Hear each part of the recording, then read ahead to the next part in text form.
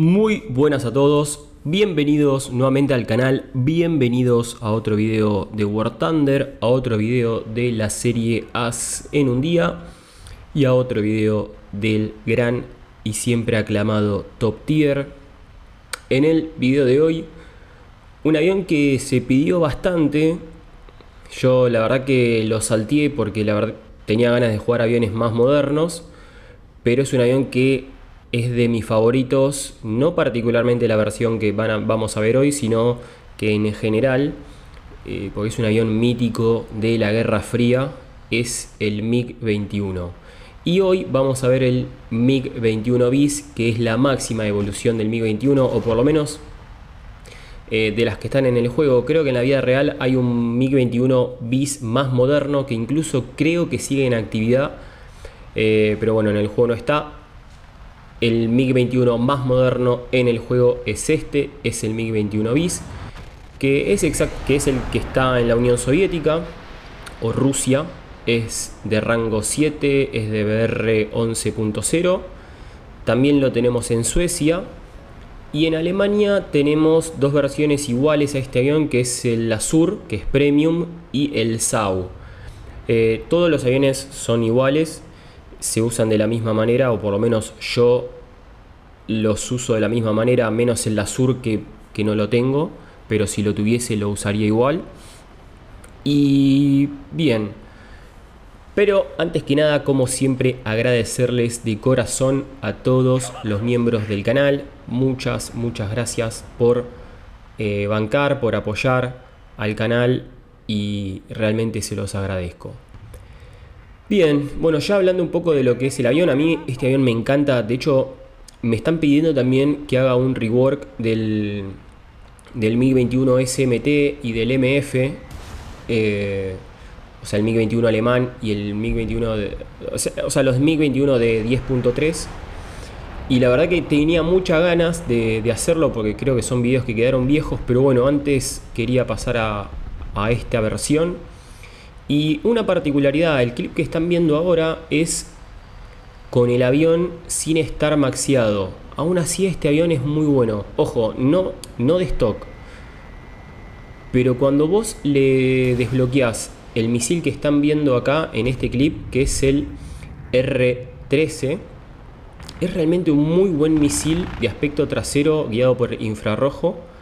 Eh, bastante, bastante bueno. No, no, obviamente es peor que el R60M porque el R60M ya es todo aspecto, pero créeme que es un misil de muy, muy buena performance, sobre todo a corta distancia. Si vos lo tirás a corta distancia y desde atrás, eh, es muy, muy difícil que, se vada, eh, por más que el, el piloto tire bengalas. Fíjense yo ahí cómo me acomodo, cómo angulo y una vez que tiro el misil es baja.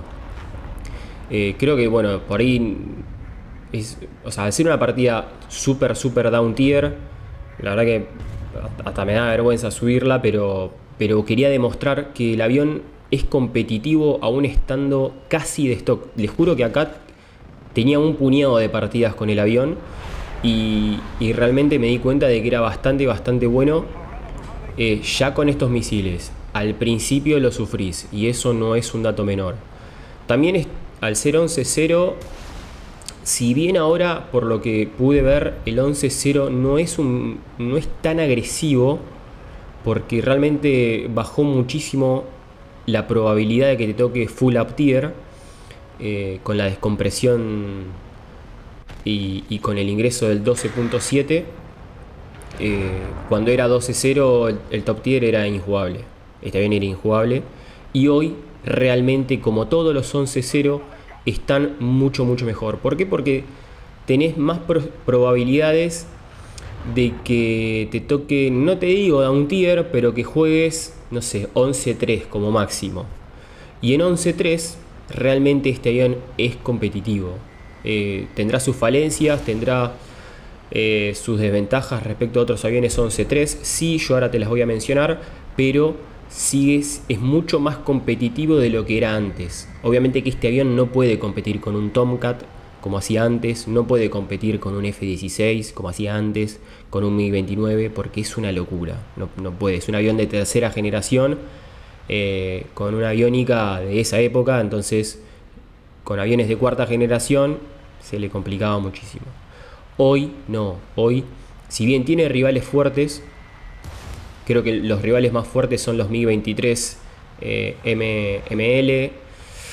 eh, y el Phantom F4S, si vos eh, jugás tomando altitud, después los demás aviones son, digamos, este avión les compite y les compite fuerte. El F5E sigue siendo también muy fuerte, muy, muy fuerte competidor para este avión.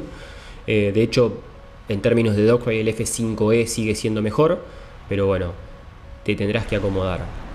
Fíjense en el primer clip, que no estaba, como digo, fuleado, estaba usando el misil R-13. Eh, tomé altitud, ¿por qué? Porque sé que era una partida down tier y esta siendo una partida up tier, porque fíjense que el tope es 12-0. Eh, bueno, todo lo contrario, ¿no? No tomo altitud. ¿Por qué? Porque, y acá empezamos a hablar ya enteramente del avión. Este avión no tiene capacidad BBR. Uno me dirá, no, Craig, pero tenés el R3, misil de, eh, misil de radar eh, guiado C activo por radar. Y yo te digo, no, es una cagada ese misil. No lo uses. De hecho, en el clip que viene te voy a mostrar lo penoso que es. Y muchos me dirán, no, pero a mí me resulta. Bueno, si a vos te resulta, amigo, vos usalo. A mí no me resultó. Eh, prefiero llevar el loadout que ven acá. Que son 6 misiles R60M. Eh, todo aspecto ya ultra conocido este misil y bueno, lleva 6, lo cual es muy muy bueno. Pero acá ya te dice algo, no tiene capacidad BBR. No, no tenés capacidad BBR, por lo tanto si jugás 12-0, yo ya ahí no te recomiendo tomar altitud, porque realmente si bien es buenísimo porque vas a poder atacar orbitalmente y, la táctica de tomar altitud hoy en top tier para mí sirve, sirve particularmente con este avión es complicado. Es complicado porque vas a tener que hacer eh, esquivar muchísimo eh, los misiles de radar, sobre todo los, de los Tomcat. Y una vez que zafás de los Tomcat, bueno, por ahí te como un F-16 o un MiG-29 y ya, ya no tenés nada que hacer. Entonces, en esos casos, yo prefiero con este en particular no tomar altitud. Y, la verdad que, resulta, pero bueno, el MiG-21 bis, en realidad todos los MiG-21 en el deck rinden mucho menos que en altitud, mucho menos. Y eso me jode, me jode porque se nota. Vos en altitud, en una, en una pelea a 6.000, 7.000 metros u 8.000, eh, a un F5E le ganás muy fácil. Eh, mientras que en el deck el F5 te pasea, te pasea, te hace lo que quiere. Esa es la diferencia de rendimiento que hay justamente entre pelear en altitud y no en altitud. Particularmente este avión, que era un avión de cota alta, la sufre. Pero bueno, en top tier yo recomiendo no tomar altitud con este avión. Y después, bueno, nada, la verdad que es un avión que tiene muy buena aceleración, muy buena velocidad final. En términos de performance, para mí es excelente, excelente. A mí me encanta el MiG-21 como plataforma eh, en general. Me gusta mucho el SMT, me gusta mucho el MF. Me gustó mucho este avión, mucho. Creo que lo voy a seguir usando. Eh, porque también, insisto, hoy el 11.0 es un BR bastante, bastante jugable. Y porque no, no jugás tanto up tier. A ver, no jugás tanto. Ponele que de 10 partidas jugás 5 up tier, eh, no sé, 3 down tier y las otras dos 11-3. Eh, entre 11-0 y 11-3, lo cual está bastante, bastante bien. Eh, seguís teniendo, obviamente, probabilidades de jugar up tier, pero no tanto como antes. Antes era el 100% de las partidas up tier, hoy no, y la verdad que hoy se disfruta muchísimo. El armamento es muy bueno, tenés dos cañones de 23 milímetros que, pulverizan todo, aunque tengan muchísima, muchísima dispersión, son de altísima cadencia, buena munición, por ahí no tanta, pero buena. Eh, Insisto, el mejor loadout que yo le encontré son los 6 misiles R60M, ya cuando lo tenés maxiado, y si no, los R13 cuando estás ahí en el medio. No usaría el misil de radar, fíjense acá, les voy a, les voy a mostrar cómo le costó, eh, le costó detectarlo al avión y viene de frente en altitud y la verdad que pierde el traqueo muy muy fácil. Eh, el radar es malo, el radar es malo, entonces yo no recomiendo usar el misil. El misil también es malo, así que no es un avión para el combate BBR. También hay que pensar cómo, cómo fue pensado y diseñado este MiG. Este MiG era un interceptor de rápido, eh, de, gran altitud y de, de combate cercano. Ahí es donde para mí el MiG-21 saca mucha, mucha ventaja que es en el combate aéreo cercano. No solamente por sus misiles, sino también por, su gran performance. En términos de maniobrabilidad, al ser una ana delta, la energía la pierde bastante rápido, sin embargo no la pierde tan rápido como otros aviones. Por lo tanto en Dogfight hay, hay veces que vas a estar complicado. Eh, acá peleó con un, F5, con un F5C. Eh, yo energéticamente estaba mejor, el, pibe empieza a hacer tijeras, la verdad que fallo muchísimo con el cañón, no sé, eh, estaba en un mal día y, no, le, no le di ni un tiro. Después tuve que dejar el dogfight porque venía un compañero de él y bueno, y me centré en el compañero. Eh, el armamento es, es como muy así, es... Em, hay días que estás muy fino y que lo amas. Si ustedes ven el, el clip número uno, le mete un gedón bárbaro al F-104 que que encima es un avión difícil de bajar mediante cañones porque es finito, es como chiquito, entonces es difícil pegarle.